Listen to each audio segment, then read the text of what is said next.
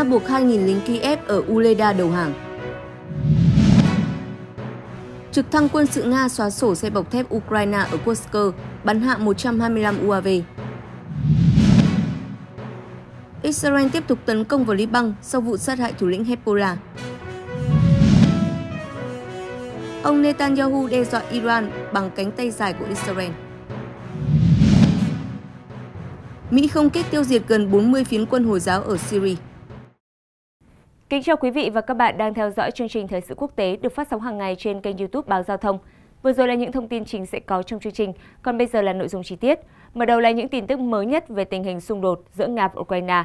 Thưa quý khán giả, lữ đoàn 72 Ukraine đang kẹt trong nồi hầm, không có lực lượng tăng viện để giải vây. Trong khi đó, Nga liên tục sử dụng UAV giải truyền đơn yêu cầu binh sĩ Kiev đầu hàng. Kênh Redukka đưa tin, tình hình tại pháo đài Uleda của Ukraine đang ngày càng nghiêm trọng khi thành phố bị bao vây và đứng trước nguy cơ sụp đổ hoàn toàn. Trong tuần qua, lực lượng Moscow đã giành được những thắng lợi quyết định tại khu vực này, khiến quân đội Ukraine hầu như không còn cơ hội để lần ngược tình thế. Quân đội Nga đã đánh bật lực lượng Ukraine khỏi các ngôi làng và hầm mỏ xung quanh thành phố, nhấn chìm Uleda từ ba phía. Quân đồn trú của quân đội Ukraine đang chiến đấu trong cơn tuyệt vọng. Ukraine đã bị bao vây, bất lực trước những đòn tấn công bằng binh chủng hợp thành cực mạnh của đối phương.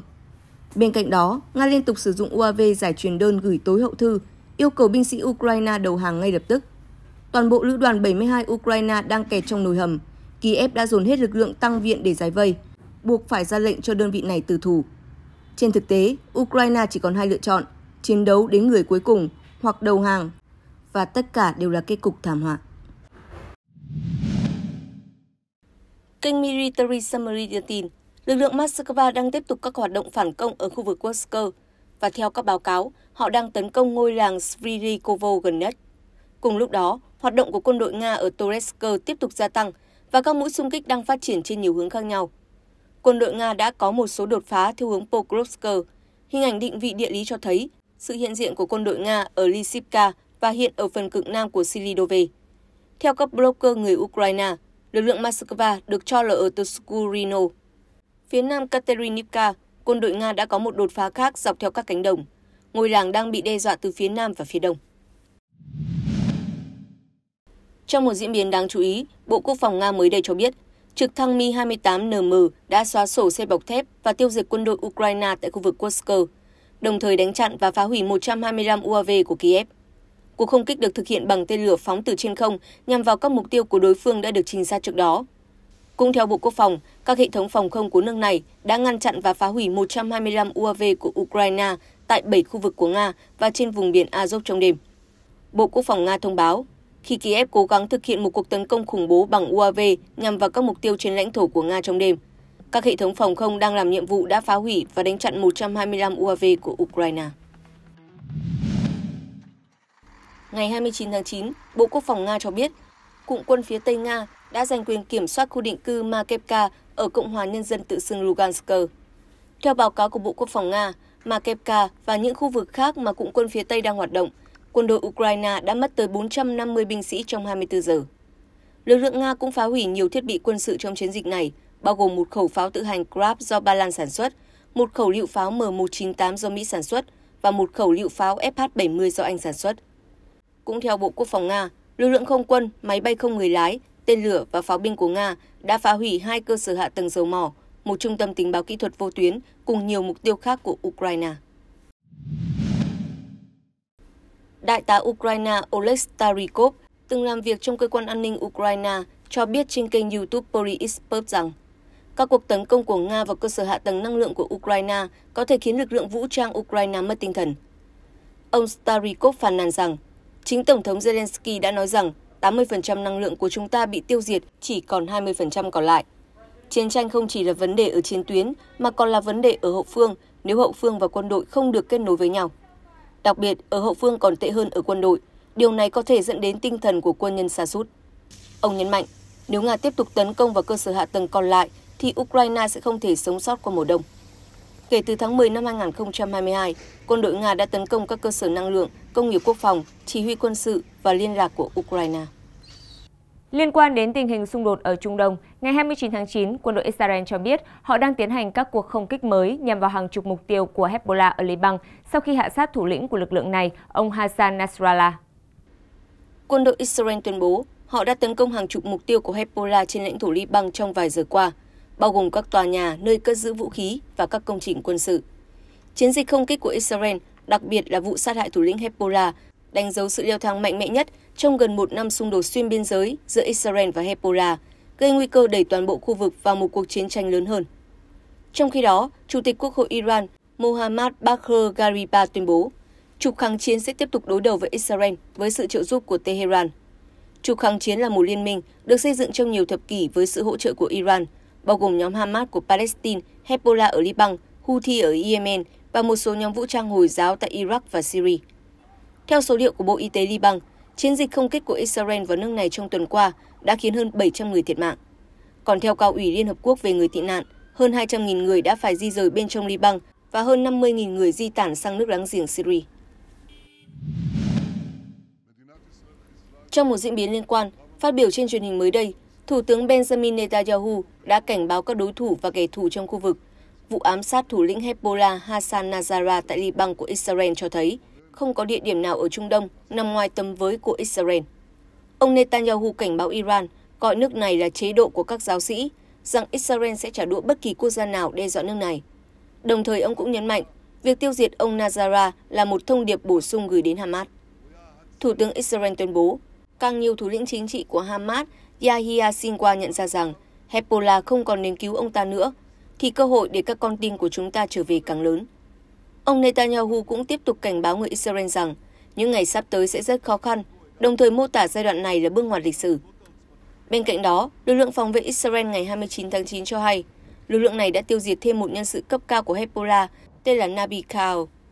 Thông báo của lực lượng phòng vệ Israel nêu rõ, Nabi Kao, một thành viên cấp cao của Hezbollah, đã bị tấn công và tiêu diệt hôm 28 tháng 9, chỉ một ngày sau khi chỉ huy Hassan Nazara thiệt mạng. Kao được coi là nhân vật thân cận với nhiều lãnh đạo Hezbollah và từng trực tiếp tham gia nhiều cuộc tấn công nhằm chống lại nhà nước và người dân Israel. Theo lực lượng phòng vệ Israel, nhiệm vụ không kích nhằm vào Kao lần này của họ có sự hỗ trợ thông tin từ cơ quan tình báo quân sự Amman.